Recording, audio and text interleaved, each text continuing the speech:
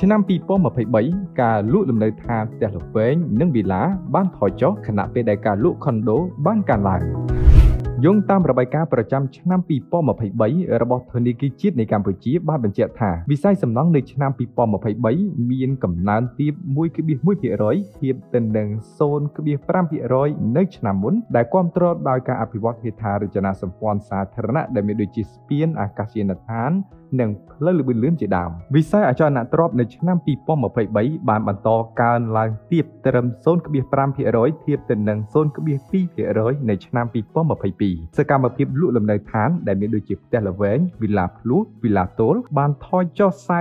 49.7%ខណៈពេលដែលការលក់ខុនដូកើនឡើង2%សន្ទុះលំនៅឋានបានថយចុះ2.4%ដែលនៅក្នុងនោះនៅរាជធានីភ្នំពេញបានថយចុះ3.2%ខណៈពេលដែលនៅតាមបណ្ដាខេត្តតបានកើនឡើង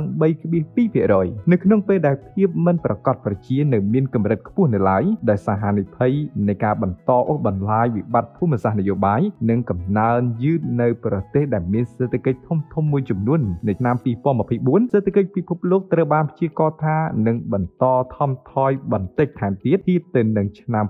2023នៅកម្ពុជាសេដ្ឋកិច្ចត្រូវបានរំពឹងថាមានស្ថិរនិយមថានឹងបន្តងើបឡើងបន្ថែមទៀតនៅក្នុងរង្វង់1.4%ដែលគាំទ្រជាចម្បងដោយការកើនឡើងនៃវិស័យទេសចរនិងវិស័យកម្មន្តសាលយោងតាមរបាយការណ៍របស់ធនាគារជាតិនៃកម្ពុជាបានបញ្ជាក់ថា នៅឆ្នាំ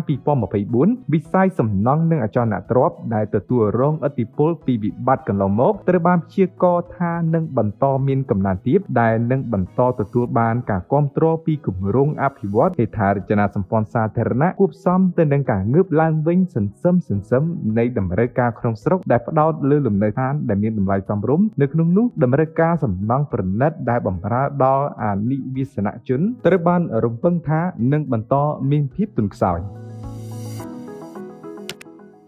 ធ្វើការស្វែងរកផ្ទះក្នុងក្តីស្រមៃរបស់លោកអ្នកតាមរយៈគេហទំព័រឬក្នុងកម្មវិធី App Harbor Property